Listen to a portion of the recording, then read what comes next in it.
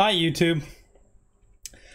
Okay, today we are going to revisit the idea of the lithopane that I did in Mathematica tutorial 44. All right, so here I have that in the background paused. So this is my avatar that I 3D printed. And then I'll scroll through towards the end because what I did is show you how you can build a 3D model out of a photograph using Mathematica. All right, so let's see if I can find all right, so I'm already opening it in the FlashForge Dreamer software there. So maybe I'll go back a little bit and show you. Okay, here we are where what I've done is I've uh, I've raised, made a three-dimensional model from the quantity of the red in in each of the pixels.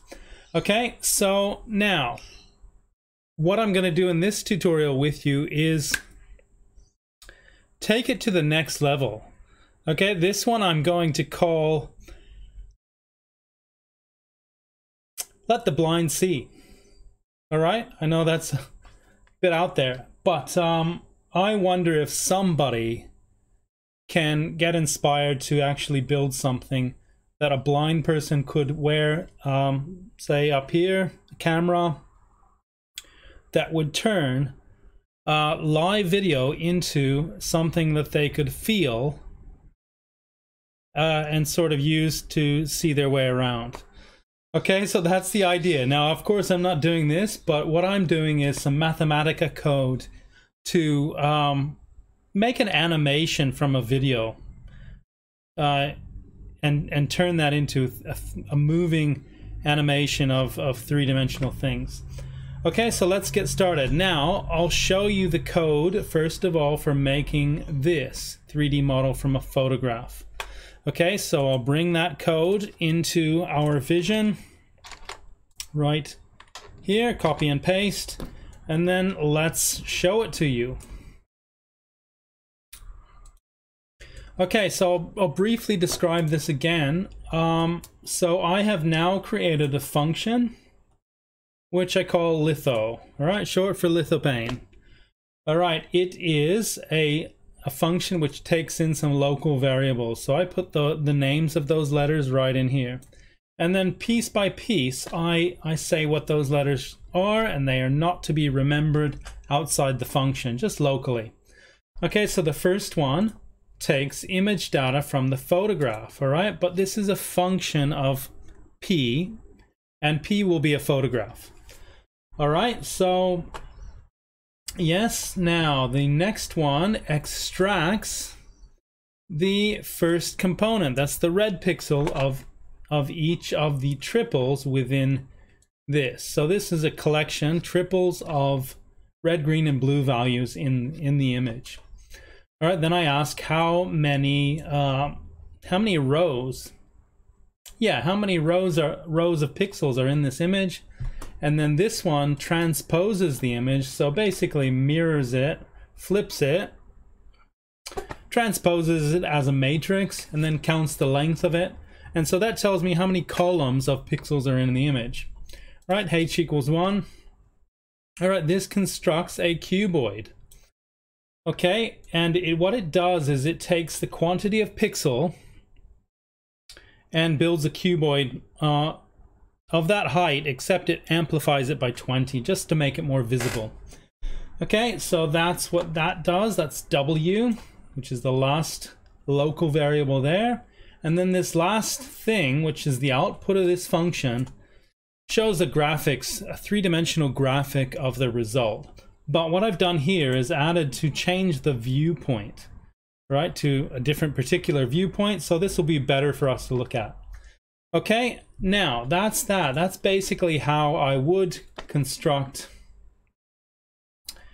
construct uh, a three-dimensional image like this one here in the video.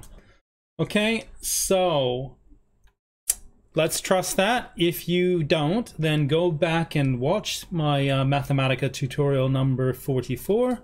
It's quite interesting. All right, so the next piece of code. All right, so what I'm going to do I'm going to try to see if this works together while I'm using the OBS software. Okay, but what I, I'm going to show you very simple command for, for getting my webcam to take a photo in Mathematica. It's called current image. Okay, so we'll try this. And I should smile. Mm, I don't know if it'll do this while I've got OBS recording, but we'll see. It might just run forever. Uh, and it's probably of a huge pixel size by default because this this uh, Logitech, Logitech webcam I'm using, uh, it's quite high quality. Okay, which has pros and cons. Current image. Um, okay, so maybe it doesn't work while while I am while I'm using the OBS software. Anyway, I'll show you the code anyhow. All right. Uh, let's see. Did I execute this? I'll do, I'll do it just in case. Okay, so that should be in memory. Then I'll come down here and write the next piece of code. But I'll describe what this is doing. Okay, so what this code is doing, this function block is a bit like module in that it's saying these two items are local variables. I'm setting them equal to, but they're only remembered inside the function. All right, and then after that, um, I say, you know, do the perform this activity, right? Which in this case is to take to take a photo, but not just one photo. I said take 50 photos. Okay, 50 photos here, and then I've specified the image size with these two options. Now look, this image size that I've specified is actually really, uh, really small in pixel numbers. Now I did this intentionally because uh, I want this to, to be able to run um, and not um, kill my computer basically because, you know, my computer's quite old, it's getting fragile and, um, well, you know how things go. We all need to get new computers to be able to run computations. Okay, so that's basically what this does. It takes a series of photographs with my webcam and then um, and then what I would get is a whole bunch. I would get a list of, of, of photographs, right? It's actually quite nice to take because it's not as smooth and you get something artistic if you were to uh, animate that after that. Okay, now the next one, the next list I'm going to create is the following one I'm about to paste in here. Now it says to tabulate and then I'm applying litho to each of the images that my webcam is taking, okay? So my webcam takes a bunch of pictures of me doing this, moving around and such, and then this function here is doing uh, this stuff on each of those images, okay? So you can imagine that quite a lot of computations are going on and so I don't want my picture to be taken with a lot of pixels to do this. Okay, so I will now get rid of this cell, cut. All right, and then I'm going to show you the last command, which is this one, list animate. So what list animate does is it glues together a sequence of photographs and makes an animation. And so if you did this, you get something nice and artistic where, you know, you get every little bit of movement. Uh, and it looks fun. You could probably put that on, on Instagram and impress people. Okay, so now I wonder if this is going to work.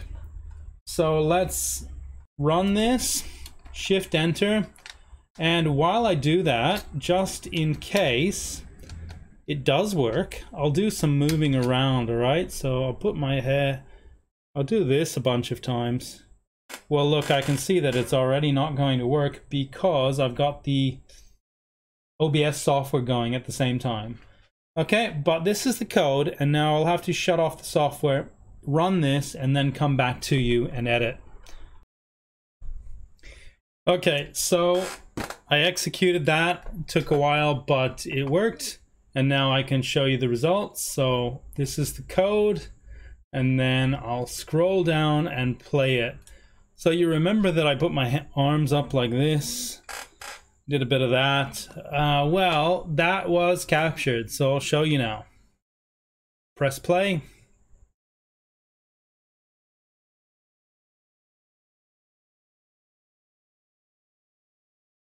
Hopefully it gets a bit more smoother, right? There's a lot of computation going on, so um, it's not the smoothest. Maybe I just need a new video card.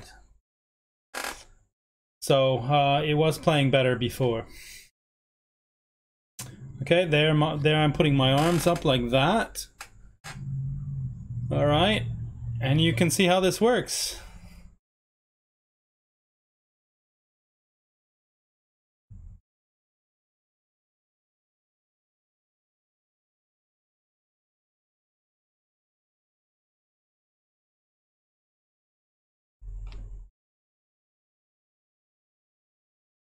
It looks like it's going smoother now. It's, it repeats, it loops over itself.